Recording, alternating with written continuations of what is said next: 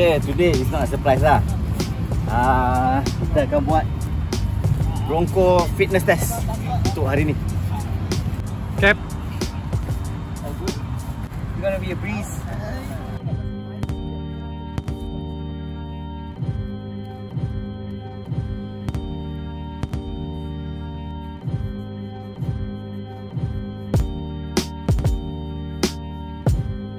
With my current club at the moment, we do the Bronco test as well. So it's good for me to study here in Malaysia. And I'm really appreciate RSC give me a chance to join them. My personal best before was during my season was 519. So I'm trying to at least get closer to that. Hopefully, will do.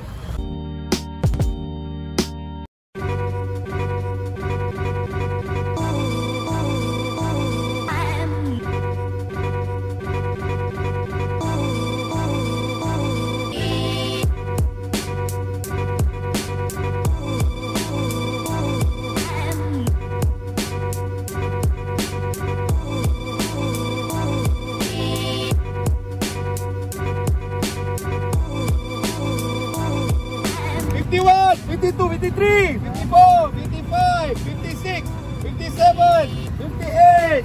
Ah! 58. Nice one, boy. 458.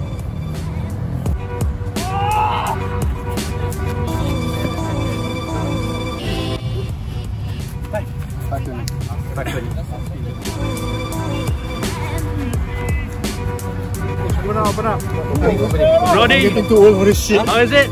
Good. Oh, look at this guy! Push it, Lord. Come on. Push it, Lord. Yeah. There we go.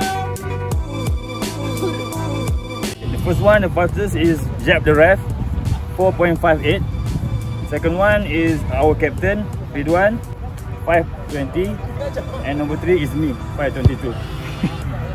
Well, referee is uh, is a, an athlete and not other like the players, um, and it's demanding, especially towards uh, sevens refereeing.